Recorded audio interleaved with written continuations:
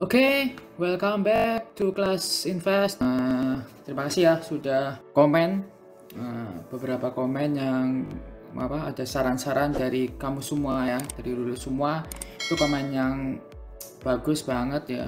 Thanks, thanks, thanks buat ke depannya videonya nanti bisa diperbaiki lagi and I will make the best video for you and for education for sharing. Jangan lupa uh, tungguin pantengin video selanjutnya. Uh, giveaway. Jadi kali ini aku mau ngadain giveaway untuk 1000 subscriber pertama. And kamu juga harus ikut ya. And get the money keep cuan. And kita cuan bareng-bareng, kita belajar bareng-bareng, keep sharing, oke okay, teman-teman, biar cuannya to the moon semakin meningkat. Anyway, nggak usah banyak pacet, nggak usah banyak ngomong-ngomong, yang penting langsung kita langsung ke intinya aja. And today uh, I will sharing about the fun cat atau fun cat, fun cat, fun cat. Uh, but what people say I don't cat, it's a fun cat. Itu adalah kucing, nggak tahu kucing apa. Apa yang apa dengan kebumingan ini? Apakah kita akan terjebak di FOMO-nya mereka beli di harga tinggi atau beli, beli di harga rendah coba kita ulas bareng-bareng ya teman-teman. Oke okay. sini ada cat di coin market cap. Nilainya sekarang 0,005841 rupiah. Gila satu rupiah nggak ada nih. Jauh di atas satu rupiah nih 0,0005 nggak usah dipikirkan. Yang penting ini saya rasa ini adalah price in the dip. Ini harga di bawah. Meskipun dia sudah naik selama 100% mungkin di 24 jam tapi berapakah dia selama ini naik? Coba kita ke CoinGecko yes dia 7 hari sejak, peluncurannya ya. Itu 1000% sudah 1400% apakah ini beli di pucuk? Hmm, menurut saya it's still in the deep ya. Karena ini harganya under value banget. Kok under value bang? Hmm, yes kenapa under value? Dan apakah ini gorengan? Menurut saya eh, yes ini gorengan ya. Ini koin-koin gorengan ya tapi bukan selamanya gorengan. Ke depannya dia pasti mempunyai fundamental baik. Oke? Masih ini sebuah apa ya? Harta karun lah. Ini gem man ini hidden gem man ranking masih 2500 nggak tahu nih keberapa ranking nggak jelasnya. Kapitalisasi pasar? No man nggak ada loh kapitalisasi pasar. Nggak jelas ini. Kapitalisasi terdilusi juga nggak ada. Volume 39 miliar. 24 jam. Peredaran supply coba nanti kita lihat di websitenya ya mungkin ini pasti ada. And so nggak usah banyak uh, percakapan lagi eh. Coba kita lihat selama all-nya mulai 25 Maret eh sorry 26 Maret itu kan sudah 1000 ya. Dan ini pergolakannya memang sudah mencuat gini. Apakah ini akan naik atau anjlok gini atau ngepam ngedam ini ya biasa bisa aja itu nggak ada nggak mungkin. Tapi kayak saya kira ini it's still in the bullish altcoin jadi di season altcoin season jadi ya kita berpatokan bahwa ini still bullish ya walaupun kayak gini. Ini kan konsolidasi dia sudah masa naik terus naik terus nggak mungkin kan? Dia pasti ada fase konsolidasi. Gimana fase konsolidasi? Ini loh fase konsolidasi. No ini loh ini loh. Ini fase konsolidasi. No naik. Yang datar-datar ini yang sideways ini ini fase konsolidasi.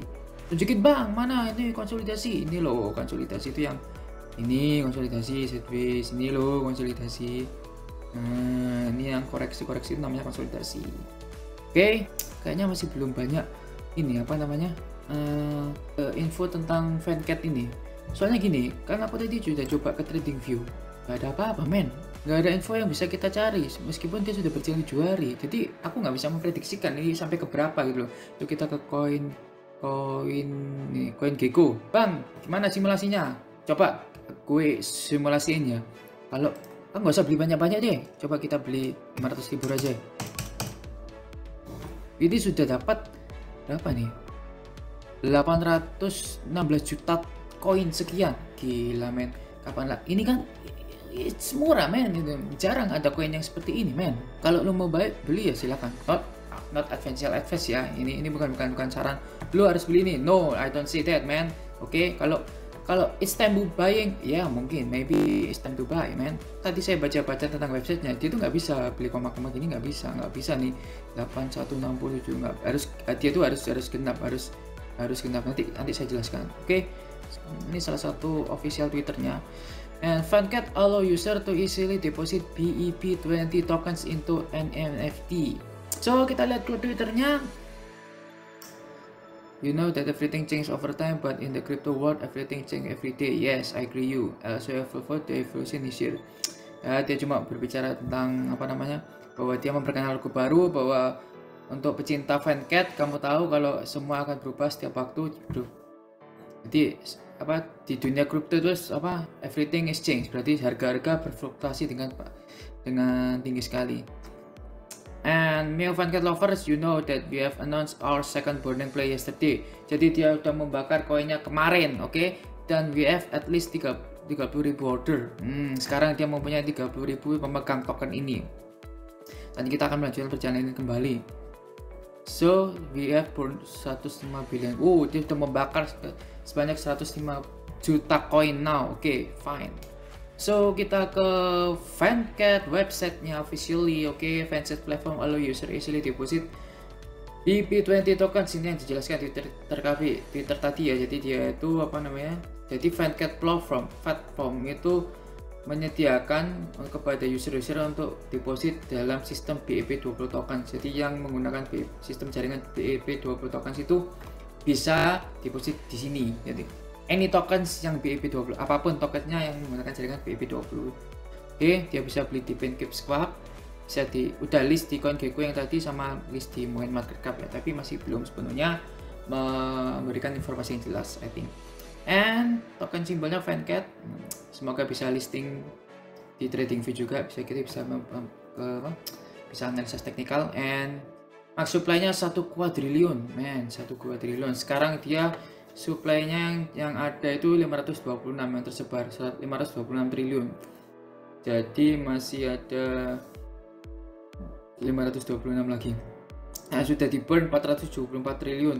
Jadi sisanya adalah yang 110 itu nanti kekunci market cap-nya sekarang 27 juta US dollar.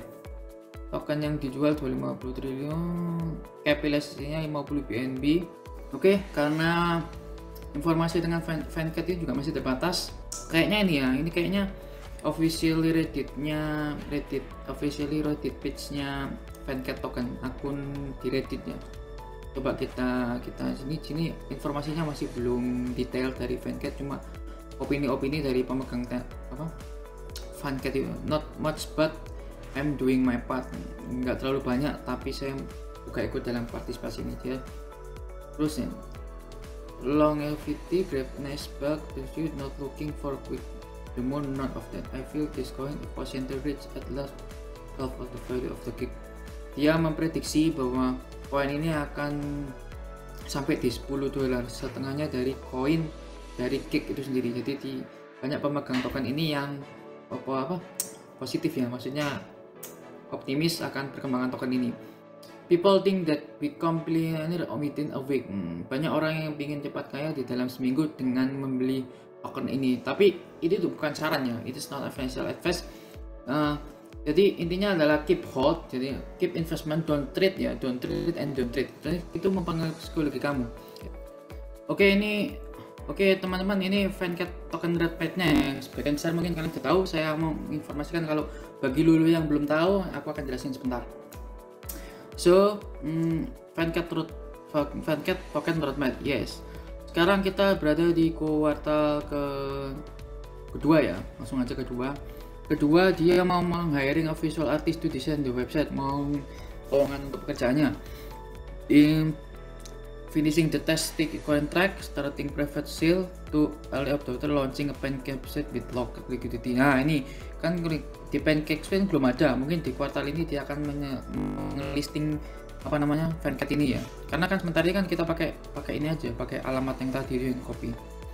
Terus dia tuh mau listingnya tuh di kuartal ketiga gitu loh. Jadi kok untuk listing di mungkin Binance ya.